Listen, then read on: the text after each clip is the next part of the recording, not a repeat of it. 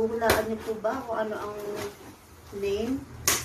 Or kung anong in-order ko po ngayon? Okay. Don't usually return what I ordered. But I don't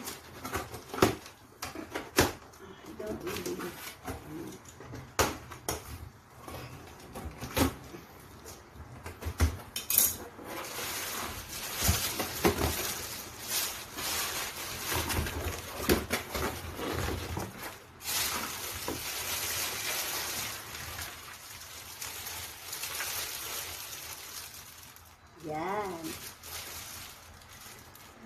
Ganda. I like?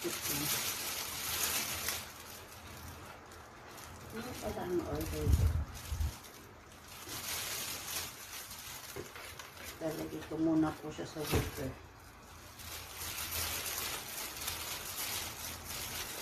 Would you believe that I ordered this for a very affordable price?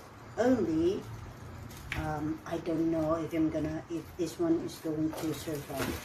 Mama She, kung malapit ka lang dito, you will have a lot of plants. See? Yan, parang kakabunot lang nila to. Ito yung isa.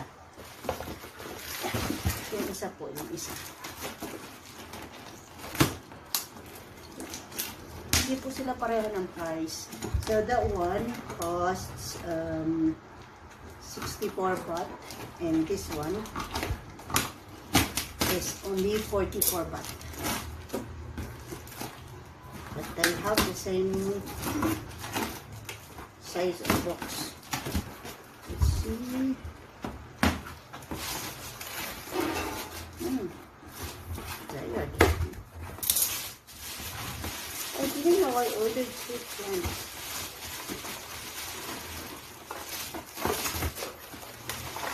Oh, I think this one cost 64. Kasi mas malaki siya eh. Yan. Ito po siya.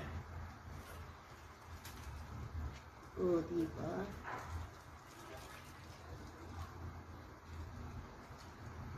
Saan ko siya pwede ilagay?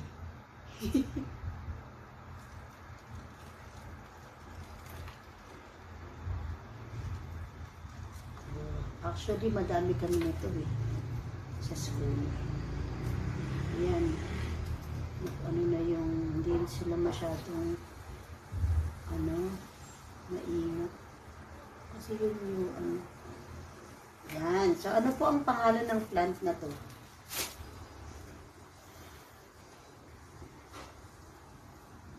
Yan. Total, nakita niyo naman po kung anong, ano niya, I guess you'll be able to guess what it you aren't connected to me yet, please subscribe to my channel and hit the like button. Also tap the notification bell so so that